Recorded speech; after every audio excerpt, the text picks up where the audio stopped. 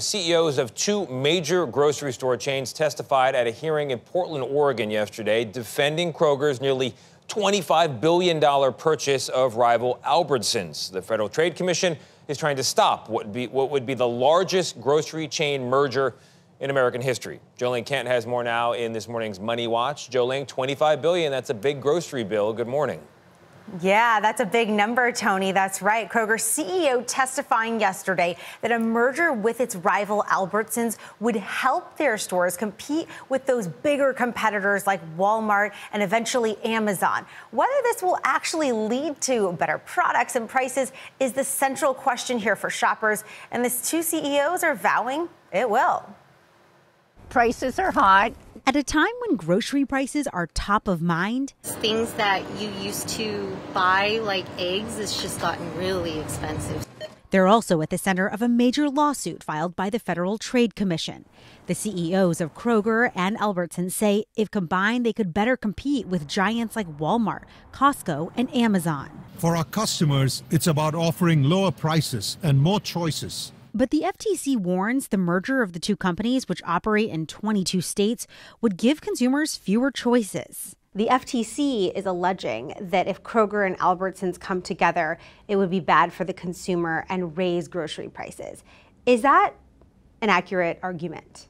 I'm not convinced of that argument. If they're somehow able to combine their stores, some of those cost savings through lower wholesale prices could be passed on to consumers.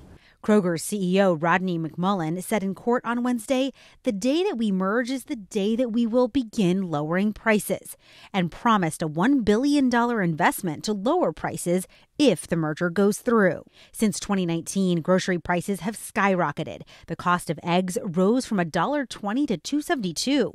Orange juice has jumped from 2.49 to 4.26 and a loaf of bread from $1.28 to just under $2. And even with larger grocery stores struggling to compete, local food markets could be barely hanging on. What could a merger like this do to smaller chains, the mom and pop shops out there? They will confront a, a bitter reality because then not only are they having less competitive power, but they also have less buying power. And that means higher prices for consumers and, frankly, perhaps fewer customers.